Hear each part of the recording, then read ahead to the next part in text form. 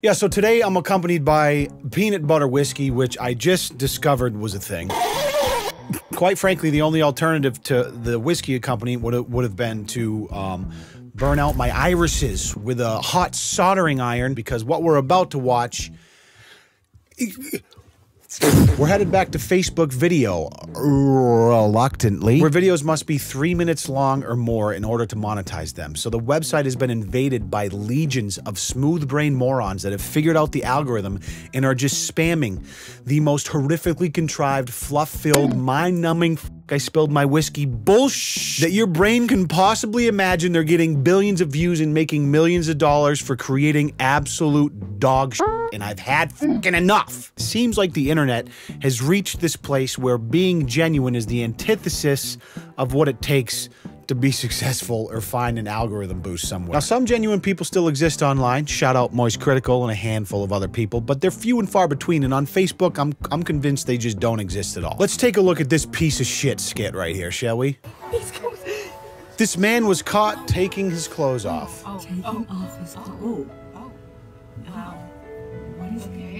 So the stage is set. There's two women in a car seemingly catching this man candidly. Uh, and he doesn't have a home, so he's taking his suit off to shower in a fucking drive through car wash, I guess. Sad piano music in the background, just really heightening the emotional impact of this incredibly sad fucking scene of a homeless man. What the fuck is this? Okay, if you already, we're 42 seconds in, if you don't already know at this point that this is completely contrived nonsense, or you're just, you have a fucking pee where your brain is supposed to be. Now, obviously, if you're watching a Leon Lush video, you're smart enough to understand this shit, but there are millions and millions of fucking boomers sucking on the teat of this emotionally contrived horse shit on Facebook and making people millions of dollars, and I don't know why it fucking pisses me off so bad, but here we fucking are! Let's move on. Oh no no no no! no. He's going up to him. Oh God, no! An officer, and it, with the untucked shirt, like what even? At first, the police officer tells him he has to leave. Oh, this could go so horribly. Oh no, what a disaster! But the homeless man tells him that what? What does he say? Please, sir, let me shower here in this car wash. I'm homeless. Let me remind you that videos have to be three minutes or more in order to be monetized, and this one happens to be exactly three minutes and one second. So during editing, they just filmed a bunch of bullshit that they could use to emotionally tug at people's heartstrings, cut it down to exactly three minutes, and boom, it's a fucking money making machine. Let's continue. He's get, he's getting the brush. Oh, no, he's not. He's not gonna brush his back in front of the officer. He wouldn't do that. That's crazy. A homeless man? No. No, wait. Ow! Oh my. Oh, the officer has a heart. Why is Helping him shower. Oh, he's shivering. this? This is so cute. This is oh, he's So you get the point. The officer then continues to spray him with his fucking hose, and it's the sweetest thing anyone's ever seen. Your aunt, I guarantee you, your aunt's probably shared this with the family on Facebook because she was blown away. Share this video to spread kindness. 46 million views, 11,000 comments. Amazing what they will do to keep clean and also keep their job. Finally, something worth watching. Thanks for sharing this.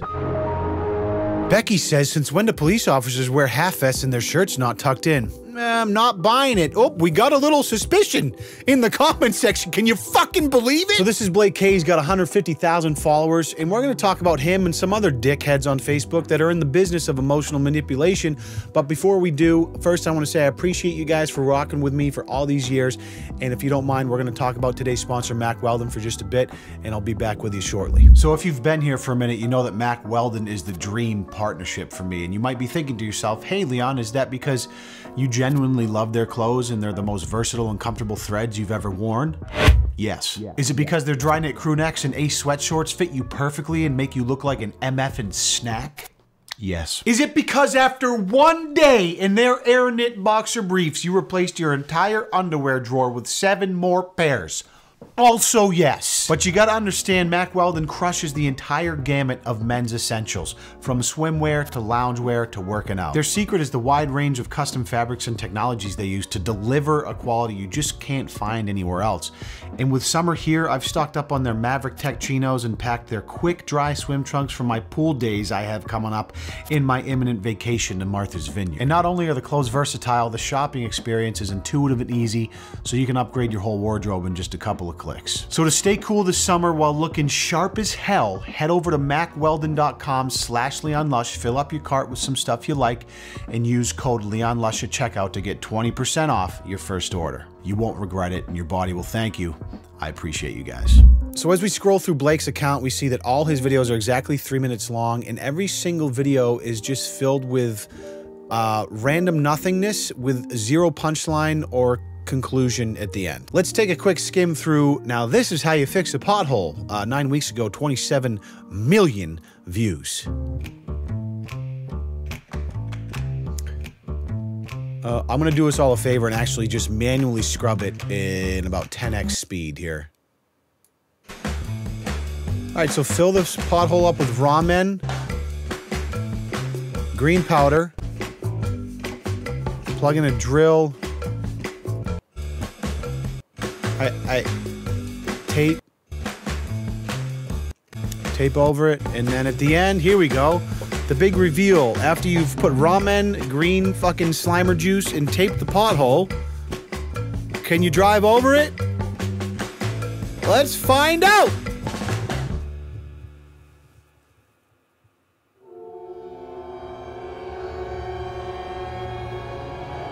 You son of a bitch!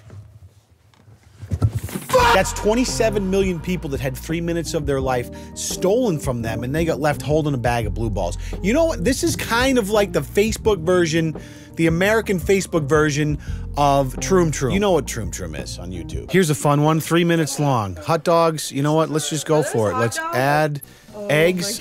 Oh my god, it's crazy. Blake, what are you doing? That's nuts. This is gonna be crazy. What are you actually making? Uh, adding purple juice to it. Okay. Lemon juice. Uh, bruleeing the top with a lighter. That's phenomenal. Okay, the finished product still hasn't finished cooking.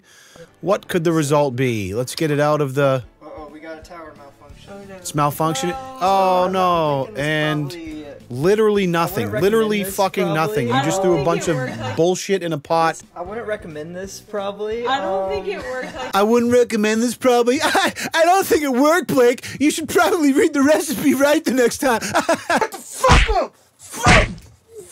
Listen, I'm, I'm self aware how unhealthy it might seem that I get so tilted over innocuous shit like this, but I am just, I am in awe of the internet. I love social media and the interconnectedness and all of the opportunity that brings to so many people all over the world. But on the other hand, it's shit like this that is trying to lobotomize the frontal lobe of humanity, and it drives me fucking ballistic. Oh, here's a fun one from a guy named Peter Vu. Um, let's just take it a step further, and instead of just making nonsense, let's like exploit the emotions of people that have maybe lost their father this year, especially in a year where a ton of people lost people to a fucking pandemic. Now, to be fully candid, I watched this previously, and it takes probably an entirety of two brain cells to realize this dude is completely full of shit. But it's Facebook, the actual inner ring of Satan's sphincter, and we're living in it right now, baby, and it is hot and it sucks Let's fucking go. This one's four minutes. We're gonna skip through the whole thing. Here we go. Oh my god, the music. My mom is heartbroken. My dad just died. Let me tell you a little something about these. Um, I guess what you call like prompt cards. These flashcard videos are a huge hit. These have been massively viral because guess what? If you use flashcards that have three words per card, you can tell like a two or three paragraph story and it will take all of three fucking minutes, which is the amount of time you need to monetize your Facebook fucking video. All this bullshit about my mom lost my dad, she's devastated. Here's his wedding ring. Um, for some reason, can't talk. He's not going to talk. He just has to explain it on these fucking cue cards because it takes way longer, and that's great for watch time, and it's, I mean, it, it keeps people hooked. Now we're like making something incredible by his words, but She's also passed out this whole time in bed with fucking clutching a tissue because she's been sobbing uncontrollably, of course. So he puts his hand in this purple shit And This is such a sweet gift. Yeah, Here we go. open like. It's it's all the way in the middle. In the middle? Yeah. Okay. wakes his mom up out of her slumber after just a night of sobbing because of the obvious loss of their uh, her husband, his father. Tragic, tragic shit. Hey, don't get it twisted. Absolutely tragic shit. I mean, this is heart wrenching stuff. This is why when I finish this video, I got fucking tears streaming down my face, soaking my white t shirt. My nipples are pinging through because the fucking white t shirt's wet, and I'm hard as a fucking rock because grief makes me horny as hell. I'm sharing the shit out of this, but let's let's just get it finished here. Hold on. I know you know some rough things have been happening. You know, Yeah. uh, to us, to our you know our family and everything. And um, I hope you know this kind of reminds you that you know we're still here, we're still together. Oh my God. The cameraman. Oh? My God. Mom, you know how you're always telling me that my hands remind you of Dad? I I made a mold of my hand You put Dad's ring on there and remember him forever. I know I haven't been the best mother. I know it's been so hard and I'm really sorry, but I really needed this. I love you, Sweetie, I love you so much. I love you, Mom.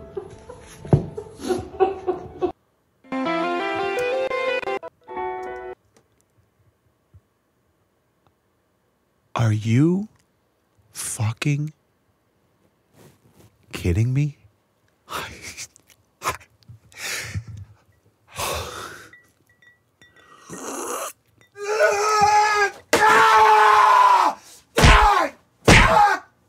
Sorry, baby. You know I don't like to get so angry, but sometimes I see shit on the internet and it gets me so fucking heated, and I don't know how to fucking control my anger. And I know I've said I'll try to get better, and I'm trying, and I'm trying. I love you so much. I'm so sorry, sweetheart.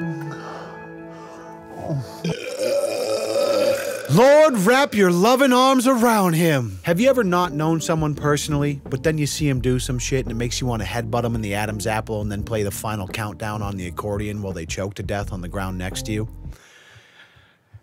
I'm not saying that's how I'm feeling. I'm just wondering if if you've ever felt like that before, un, un, unrelated to what we just watched. You Here's another masterpiece from uh, uh, a third character named Justin Flom. I imagine he's just as much of a dickweed as everyone else we've watched here tonight. And, you know, just recruit your hot girlfriend or wife or whatever.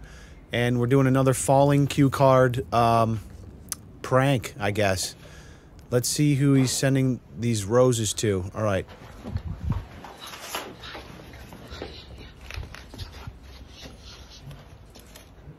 Good. Yeah, yeah. You knock on the door. I have a feeling my favorite part is for you. We're the local flower shop. No, this is actually. we're- the fact that he's not going to notice the girl standing there filming the whole time.